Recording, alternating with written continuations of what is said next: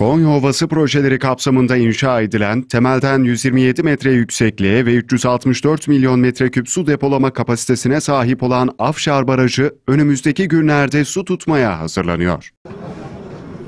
Taşkent ilçesinde Ilıcapınar Deresi üzerinde yer alan Afşar Barajı'nda depolanacak olan sular, inşaatı devam eden Hadimi Tüneli vasıtasıyla Bağbaşı Barajı'na aktarılacak. Oradan da Mavi Tünel'le Konya'ya ulaşacak. 18 kilometre uzunluğunda ve yaklaşık 4,5 metre çapındaki Hadimi Tüneli inşaatında ise çalışmalar tüm hızıyla devam ediyor. Tünelin yaklaşık 6,5 kilometrelik kısmı tamamlandı.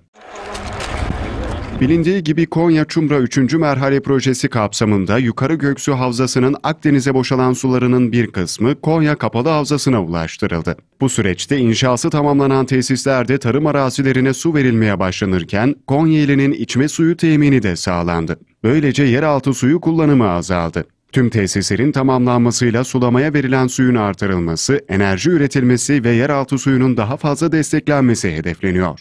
Bağbaşı Barajı ve Mavi Tünel'in 2015 yılında faaliyete başladığını, Bozkır Barajı'nın ise geçtiğimiz ay su tuttuğunu ve şimdi de Afşar Barajı'nın su tutmaya hazırlandığını belirten Devlet Su İşleri Genel Müdürü Kaya Yıldız, KOP, Konya için de ülkemiz için de çok önemli bir projeler demeti. Bu projeler demetine ait tesisler birer birer hizmete alınıyor. Büyük mutluluk yaşıyor, gurur duyuyoruz. Çünkü tamamlanan her tesis vatandaşımızın hayatına doğrudan etki ediyor.